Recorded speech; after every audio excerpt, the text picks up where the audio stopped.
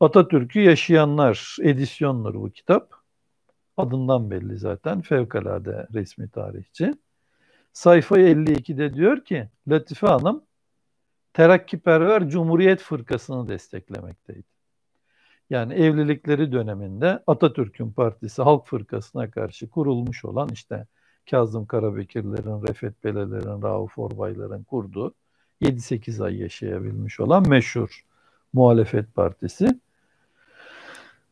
Bu muhalefet partisi, iktidar partisi, halk fırkası, halk fırkası Atatürk'ün fırkası. Ama Atatürk'ü yaşayanlar kitabının 52. sayfası diyor ki Latife Hanım terakkiperver taraftarıydı. Atatürk talihsiz dedim bu noktada. Şunu kastettim. O olaydan 5 sene sonra Atatürk tarafından başlatılmış bir deneme olacak. İkinci çok parti denemesi Serbest Cumhuriyet Fırkası. İnsanlara itimat gelsin diye Atatürk bu fırkaya kendi o gün için hayatta olan sıhri en yakını kız kardeşi Makbule daha sonra atadan soyadını alacak.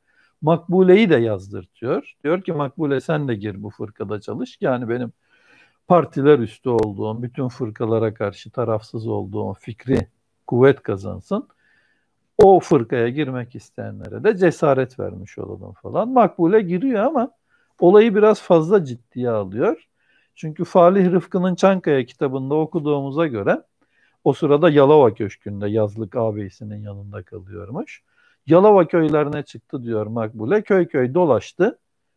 Serbest fırkaya oylarınızı verirseniz size şeriatı geri getireceğiz diye diyor Falih Rıfkı gibi bir kaynak köylülere propaganda yaptı.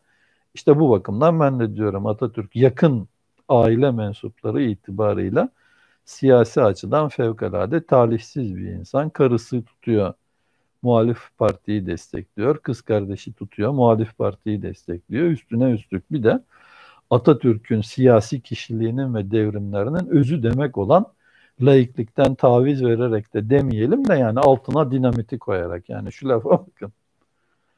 Bizim partiye oy verirseniz kazandırırsanız ey Yalova köylüleri bilin ki iktidara geldiğimiz takdirde tekrardan şeriat ilan edeceğiz. Evet Falih Rıfkı diyor ki Atatürk Makbule'yi Yalova'dan kovdu.